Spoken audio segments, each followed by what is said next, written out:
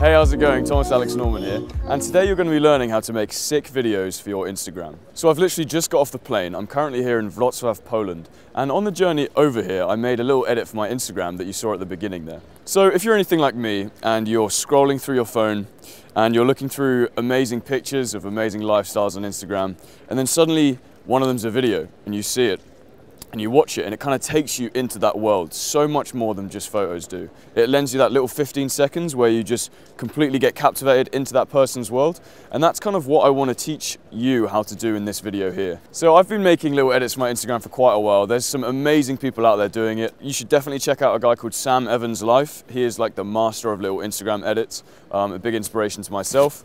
Um, guys like Sam Kolder, obviously Jay Alvarrez. There's heaps of people out there doing it um, a guy called Captain Potter as well. So go and check out their Instagrams, they're in the description below. But for now, I'm just gonna show you another one of my edits to kind of give you an idea about what this is all about and what you can do with Instagram videos.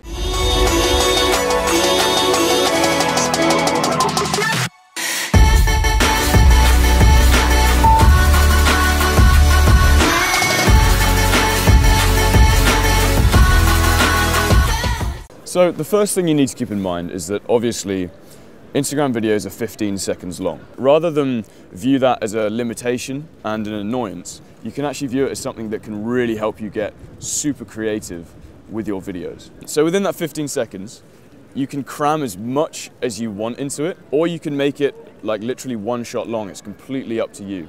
But you really do want to say what you want to say within this time and find a way to communicate that within 15 seconds. And the next thing that leads me on to is shots. Now what I love to do is cram as many contrasting visuals into my Instagram edits as I can.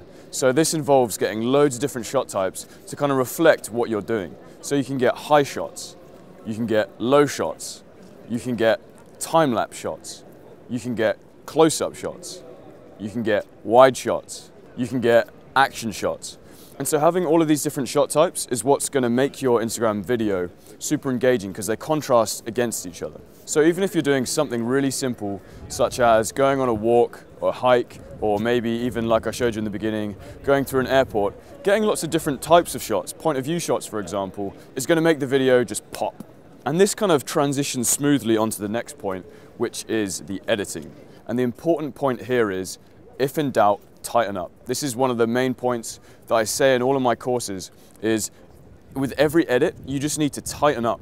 Tighten, tighten, tighten, especially with Instagram. And I see a lot of videos that could be awesome if they just tightened everything up and made the shot slightly shorter, more snappy, more to the beat of the music.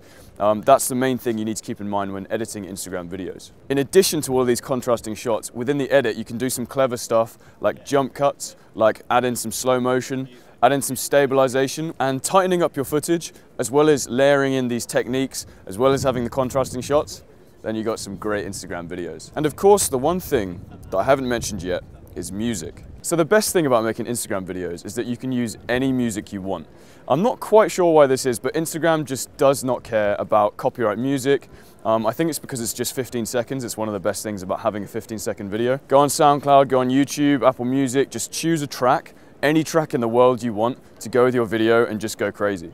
So I hope you enjoyed the video. I hope you got some great tips out of it. Um, if you liked the video, feel free to just give this a like, thumbs up or thumbs down if you hated it. Comment, let me know your thoughts and subscribe if you already haven't. So until next time, keep filming, speak soon, have a good day.